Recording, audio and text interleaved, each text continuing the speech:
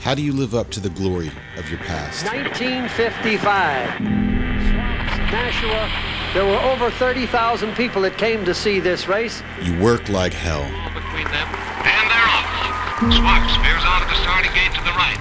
To shape the future, you must honor those who came before you. And it's Eddie Arcaro now drawing away on this one. And they're off. Through the decades, you've witnessed our good days, our tough days, and our history making days. Our name remained constant. Holding the lead the center of the racetrack. Is taking up the chase on the inside. We are doubling down on horse racing's glory days by investing in our future.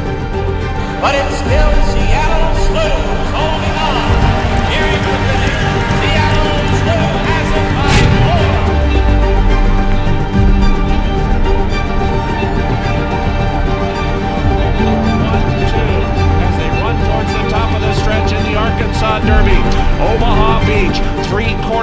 quarters of a length. This season, we're introducing unparalleled additions to our stallion roster, shaking up the industry.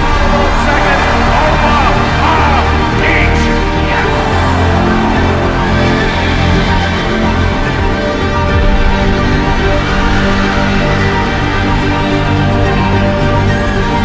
We are proud to introduce you to our future.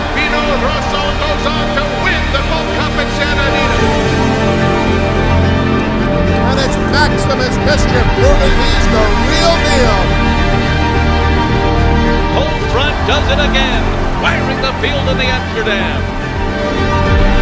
On the late pass, but it's Macaulay. He did it again. Macaulay wins the mile. At Spendthrift, we breed opportunity at all levels, so together we can find one another in the winner's circle.